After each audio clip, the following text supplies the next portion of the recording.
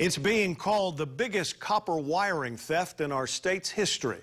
Thieves made off with thousands of feet of copper wiring from right under the State Department of Transportation's nose. Tammy Mori tells us how this happened. Tammy? Joe, this happened right underneath the H3 freeway on both the Halawa and Kaneohe sides of the Harano tunnels.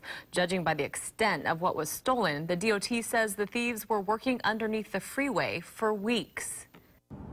It looks like an ordinary day on the H3 freeway. Lights are working and traffic flowing, but right underneath the deck of this viaduct is the scene of the largest copper heist the State Department of Transportation has ever seen.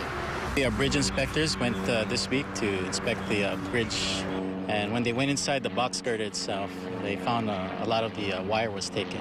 So far, the DOT says more than six miles of the copper wiring network was stripped away.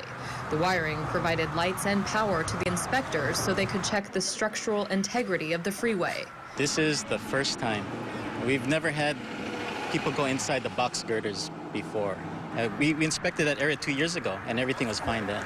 So it just happened within, it's kind of recent. HPD's criminal investigation team went down to check it out as well. Inspectors say it doesn't look like a one-man job. It seems like someone who's done this before. There's, there are tools in there. In the meantime, the DOT will still be required to submit inspection reports by November to the Federal Highway Safety Transportation Administration. But this time, inspectors will have to check if the freeway is safe in the dark. We're going to have to use flashlights and uh, bring uh, some lanterns and things. It just makes it a little harder, but uh, shouldn't affect the motoring public in any way. What does hurt the public is the price tag to repair and replace the copper wiring. That could be in the millions. It's, it's our tax money. It's your tax money, mine.